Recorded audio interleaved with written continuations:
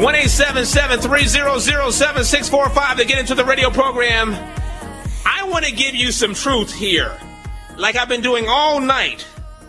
We've got an author who's joining us, and I've been trying to get this man on the show for some time. His name is Supreme, and he's got a book by the name of Dark Water. He has authored several books. This is not his first book. The Hood Health Handbook, foreword by Dick Gregory lots of uh, great information in there how to hustle and win. And also he's got a new book out called the taste of life a vegetarian cookbook which of course has my interest as a vegetarian. But the book that i want to have on about right now is dark water voices from within the veil a book about w.e.b du bois what we don't know. Kind of like malcolm x what we didn't know about malcolm x. What in the world will this book tell people supreme well this book is actually written entirely by Du Bois. It's one of the books that should be considered uh, right alongside Souls of Black Folk, but it's conveniently ignored. And the reason why it's, it's ignored is because of the ideas that Du Bois is uh, embracing in this book. It's it's actually the turning point in his life when uh, Du Bois kind of gave up on the idea of uh, the Americanism and the conservative ideas that we associate him with now. You know, now when we, you know, when we celebrate black icons uh, from history, we celebrate the sanitized versions of them. We talk about King, but all we talk about is nonviolence and peace. We don't talk about his campaign on behalf of poor people. We don't talk about his criticisms of capitalism. Uh, we don't talk about a lot of things that King was very uh, strong-minded about. Um, we're even now in the process of watching Malcolm X being sanitized. So when we hear about Du Bois, most of us have heard that he talked about the color line and you know he uh had problems with Garvey and you know he advocated for the talented tenth uh the intellectuals among you know uh black people at the time uh solving the problems for uh for black people. Well that's not that's not the whole story. And that's what this book will reveal well, okay, so the, the, the story that we've gotten about W.E.B. Du Bois, because, like, for instance, slavery, we've been told that slavery wasn't, you know, that bad, etc., but there were revolts all the time. That's what you don't hear. You don't hear about the Sharp Rebellion. You don't, you don't hear about any of those things. Who is responsible for the sanitized version of W.E.B. Du Bois?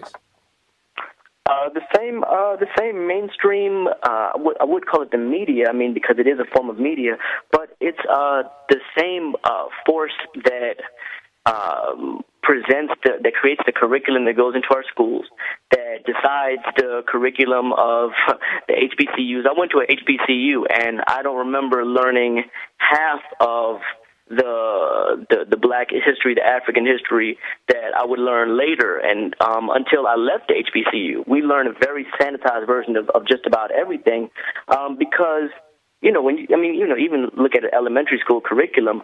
Um, and and you know we can go to the easy the easy target uh, or they teach about Columbus discovering America and that's a real obvious one. But if you look a little bit deeper you want elementary school children in in a, in a urban community to stop using the n word but you won't show them any footage from the era when the n word was a vile and vicious and degrading slur you won't show the word ever used in that context. So the only reference point these young people have is one where it's a term of endearment. So right. you want them to stop doing this, but you won't show them the the the, the awful history behind it.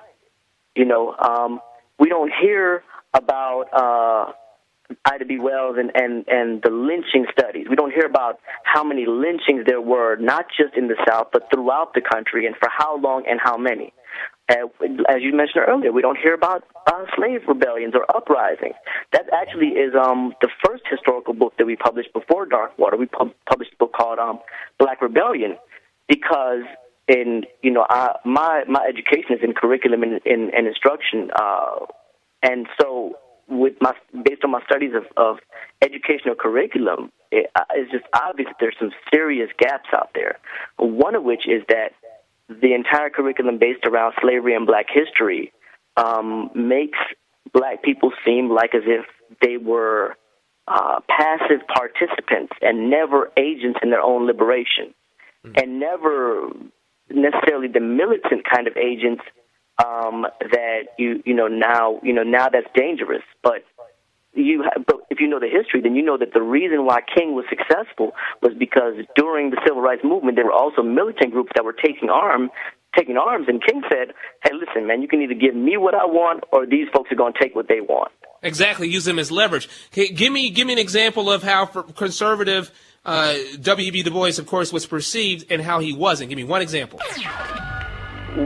One example Quickly. is that um, Du Bois people would think that Du Bois uh, advocated integration and that he just said, hey, let's just get along with white folks and let's just try to make it work and uh, we'll just be intellectual. What what people do is they put that in the context of him being against Garvey, who was doing the Back to Africa thing at the time, and that's really not the course that he ended up taking. Uh, people don't know that Du Bois, by the end of his life, ended up dying in Ghana and giving up his American citizenship to become a Ghanaian citizen. That sounds it sounds provocative. Dark Water is the name of the book. How can people get it real quickly? DarkwaterDubois.com, DuBoisDarkwater.com. Just do a Google search for the updated and annotated version of Darkwater, and they should be able to find it.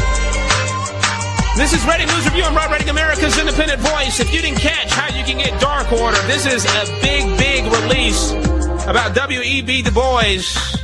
SupremeDesignOnline.com. Go there right now. Supreme Design Online. You want this book? I have it in my hand right now. More than 300 pages, almost 300 pages, 232 pages of great stuff here.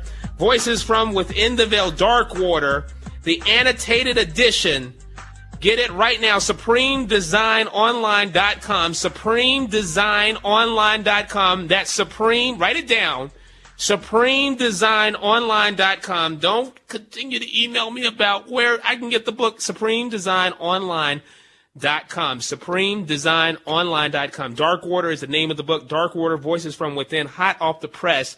We thank Supreme for coming on the show.